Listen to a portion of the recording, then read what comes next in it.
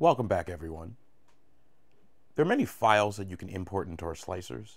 3MF, object, STL, step files, but a unique one is the SVG file. I've touched on this file type briefly in other videos when converting 2D to 3D images. There are many things you can do with them. What is an SVG file? Let's start simple. SVG stands for Scalable Vector Graphics.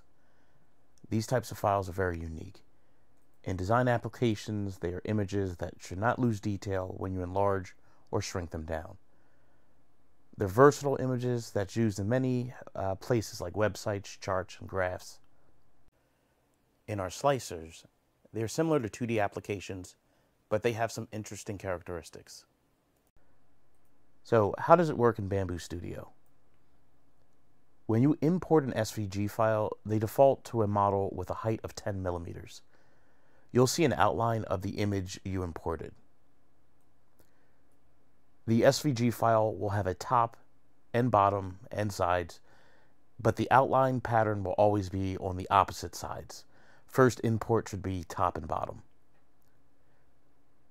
If we slice the file, you won't see much, not even the outline of your image. So the SVG file is like Schrodinger's cat. It exists and does not exist until acted upon.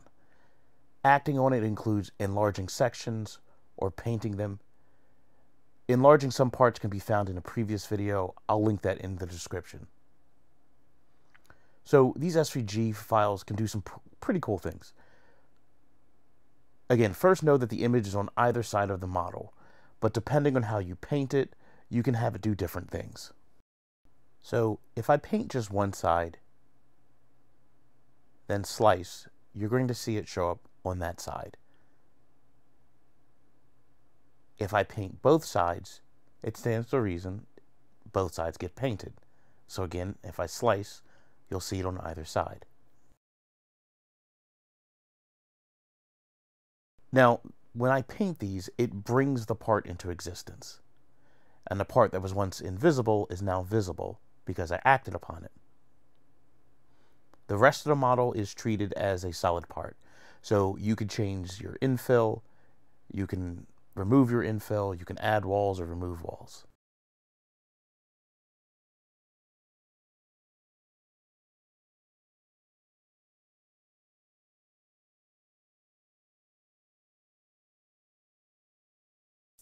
Closing the loop. Front, back, and in between. Okay, so there is another interesting thing that you can do with SVG files. So let's actually knock down our infill to zero.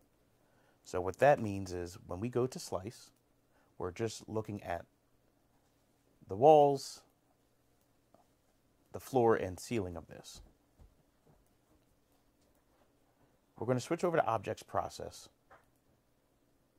Now, from here, when you're looking at your parts, every single one of these parts is a section of this model. So let's go down to the bottom. So when I click on each of these, a part will highlight.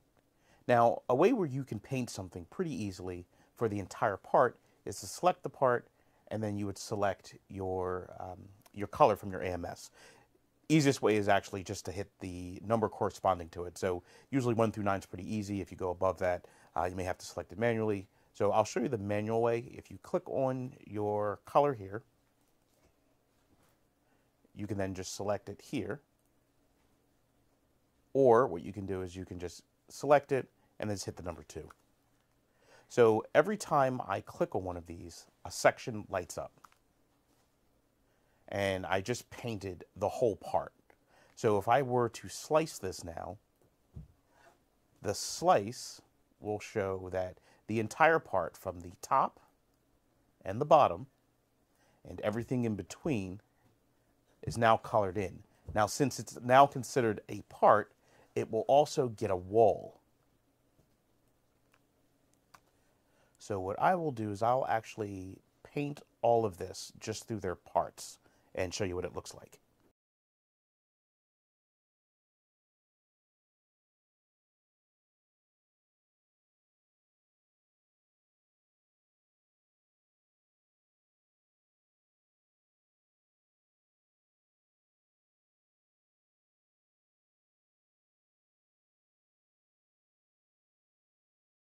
So let's slice this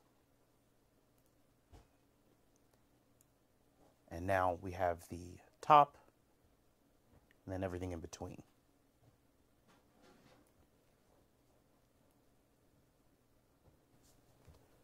Now, normally I wouldn't print something like this, considering that the most important part would be the top and the bottom. But even something like this would take about 42 uh, filament changes. And you can make it even worse if you print it in the wrong orientation. So the example would be this particular print, uh, 42 color changes, and it's roughly three hours. If I were to just rotate this 90 degrees,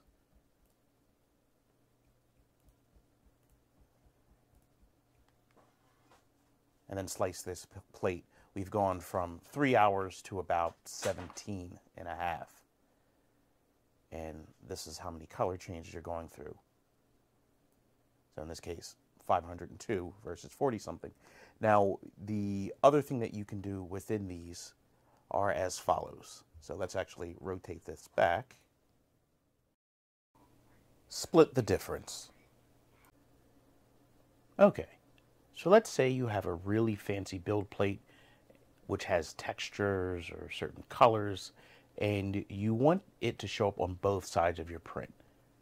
What we can do is we can actually cut this and then have it print the opposite side.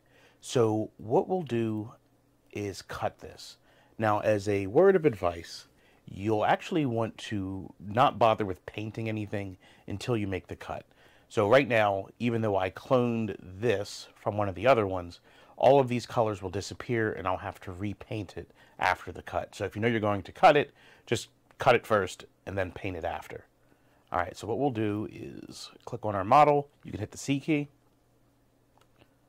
or just go right up to cut. And we're going to go to add connectors.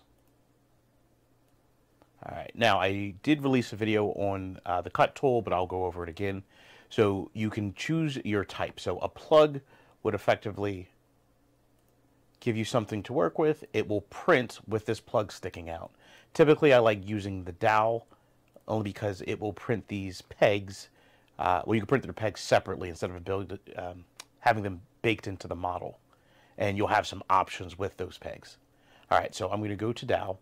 You can choose your type. I'm just going to use circle and you can make the adjustments here. So again, I didn't make any Z height adjustments. So the entire model is 10 millimeters. I'm going to split it in half, so it'll be five and five. So we just have to make sure that this isn't above five. So your depth ratio, you can make that whatever you want, just don't go above your hole. If you make it too large, you'll start getting error messages. So I'll set this back to 3.5. And when it comes to the tolerances, so this section here, if I set the tolerance higher, it will add to whatever this is. So let's say my depth ratio is 3.5. My tolerance is, let's say, 1.5, but the model is only 5 on either side. It will actually puncture through, so just keep that in mind. Also, when it comes down to the size portion, if I make the adjustments here, so this is a diameter of 10 millimeters, the tolerance size is the pegs that we're going to be printing. I'm giving myself some wiggle room. It doesn't really matter much. If you put this as the zero, it's a press fit. If your filament expands a little bit, you're going to run into an issue where it may not fit. So you either have to reprint the pegs or you may have to file them down. All right, so enough talking. Let's start placing these down. I'm going to keep it simple.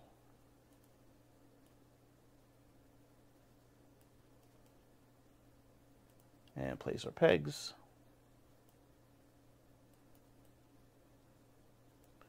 And right now I'm just doing the corners and spots where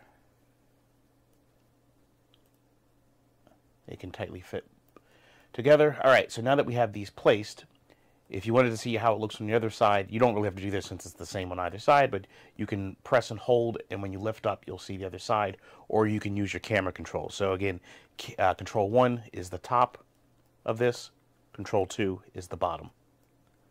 All right, so I'm going to do control 7, which will give us an isometric view.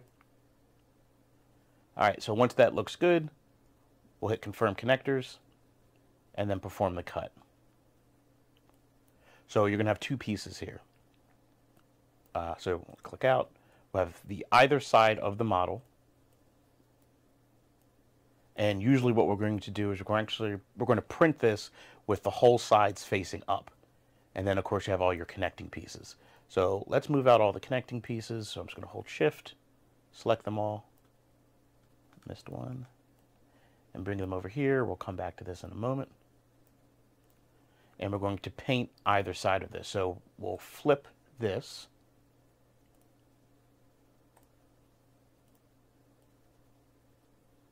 Actually, reverse that. So the holes are on the bottom. And then we'll flip it right before we print. All right, so let's paint both of these. I won't have you walk, uh, sit through all of this, so what I'll do is I'll just paint it and I'll come back. Okay, so now that we're done painting, we're going to flip this. So in this case, we want this side facing our build plate. So we'll go to prepare, make sure we select the model. We'll lay on face or the F key, flip. Do the same thing here, flip. We'll slice again.